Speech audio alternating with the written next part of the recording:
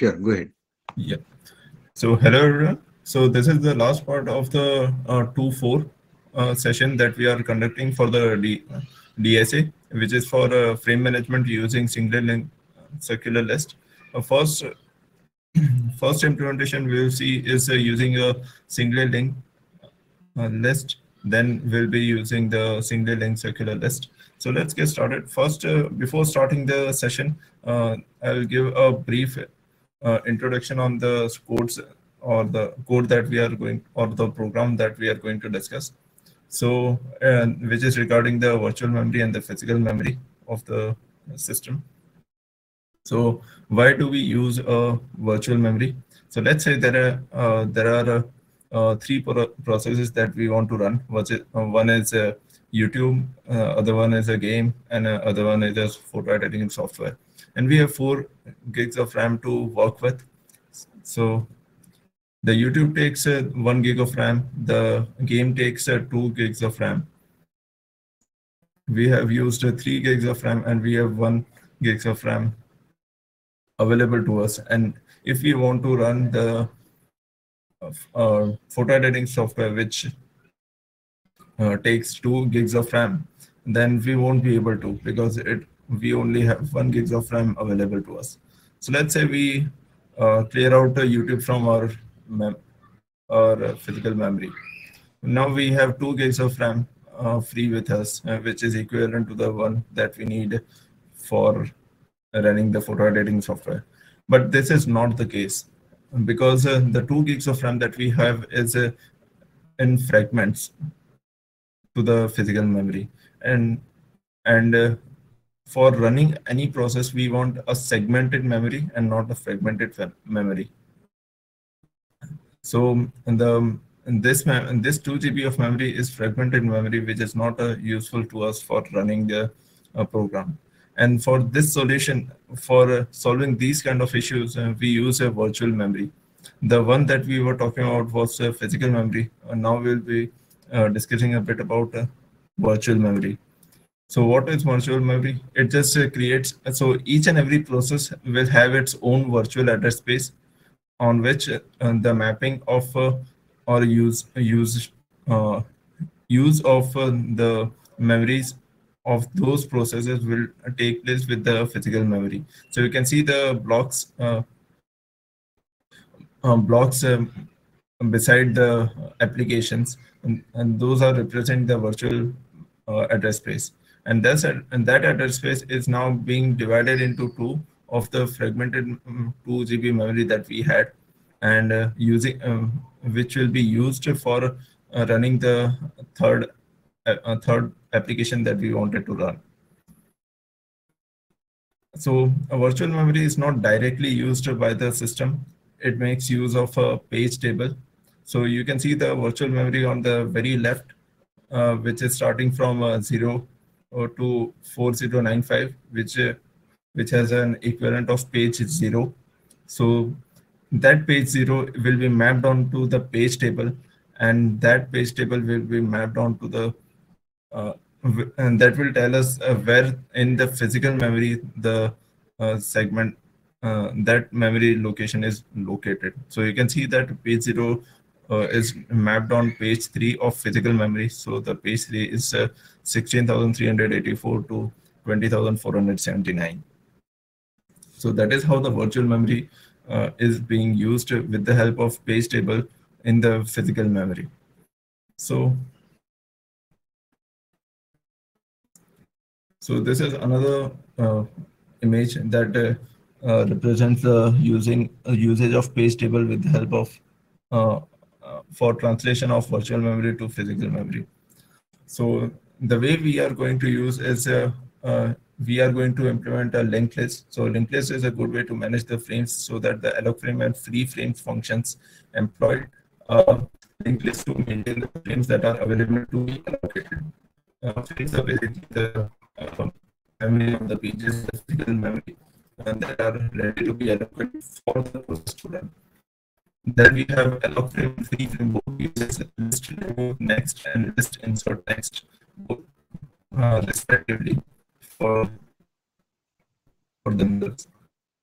So what does the alloc frame does? The alloc frame function retrieves the number of free frame from a list of available frames given a specific page. This number is uh, placed in the page table to indicate in which physical frame the page is to reside. It's talking about this. The page table, uh, you can see that uh, page zero of virtual memory resides in page three of the physical memory. Then it's a free frame. The free frame function accepts a frame number and places it back into the list of available frames once a page has been removed from physical memory or the page is ready to be uh, used. So, uh, and we are assuming when we are writing the program, uh, discussing the program that before either is um, before either the alloc frame or free frame is called, the operating system has inserted into the list all the frames that it wishes to make available. So we are uh, basically assuming that uh, we always have a frame, free frame available to be swapped or replaced or to allocate. So let's get uh, so let's uh, discuss the program. So this is the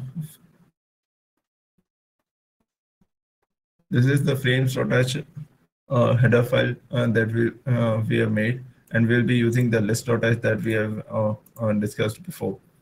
And now alloc frame, alloc frame uh, will be using the alloc frame and the free frame as used. Next, we have the frames.c program for frames.c program. We have included the necessary header files that we will be using uh, we have frames.h that we just saw, list.h that we have been using, and the standard lib library. Now, the first is uh, allocating the frame, uh, which in the which this block will be uh, responsible for. Uh, first is the frame number and reading the data, then or saving saving in the data. Then if the if the frame allocation is not successful, it will return minus one if it is it will remove it and if it's not then it will again uh, for the unsuccessful uh, uh, execution it will re uh, return minus one if it does then uh, this block is going to um, to get executed and give us the frame number. Now for free frame it's a uh, this is the initialization of it for reading the data and the data pointer. Then first it will uh, try to allocate allocate. If it's uh, unsuccessful then it will it will return the minus one value.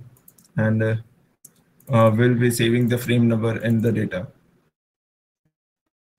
and uh, if uh, and then we'll be using the list insert next in for the execution of it.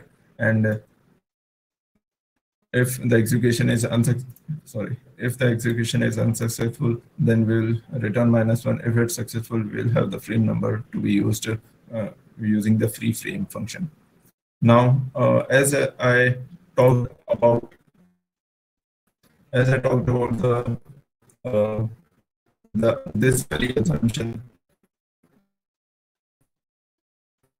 this very assumption that uh, we are all, we are assuming that uh, the free alloc frame or free frame will always have the frames to be used. But what if the alloc frame function finds from the frame and it does not have the uh, does not have the available frame uh, frame available to be used? So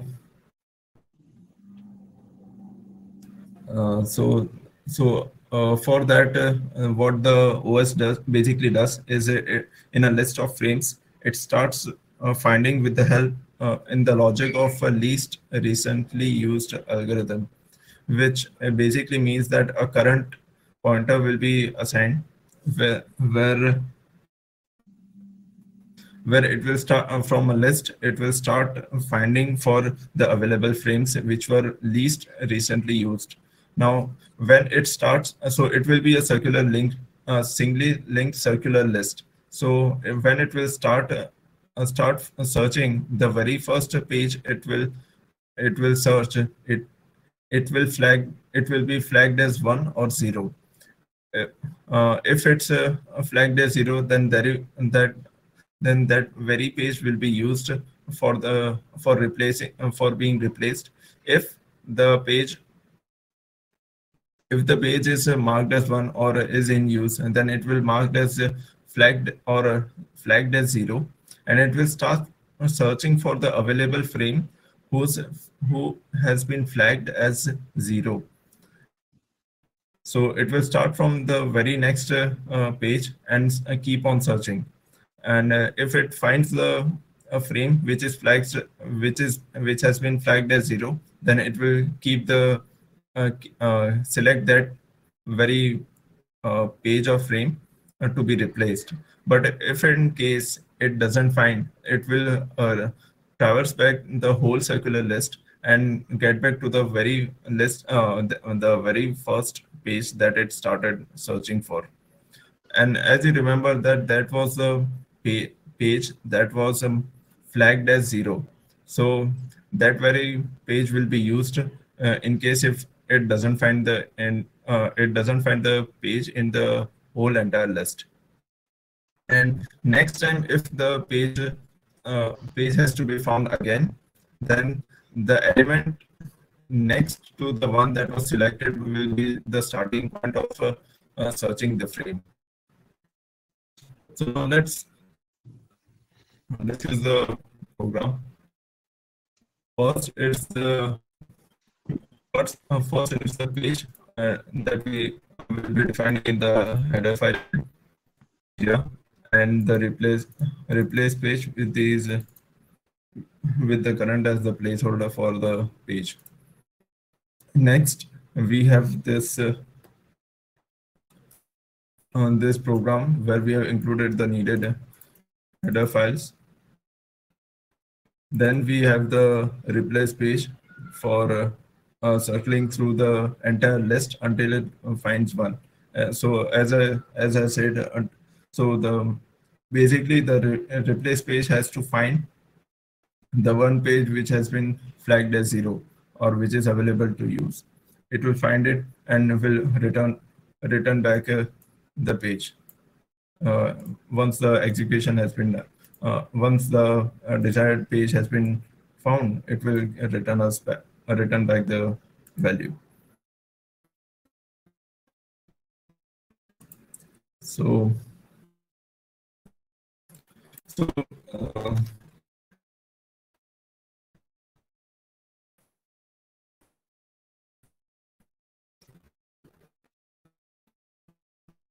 Yeah, so so this the these were the management examples that uh, uh, were left to be discussed. So uh, were uh, implemented first. Uh, first program was implemented using the single linked list, and the other one is uh, implemented using singly linked circular list. So thanks for so these are the references, and thanks for listening.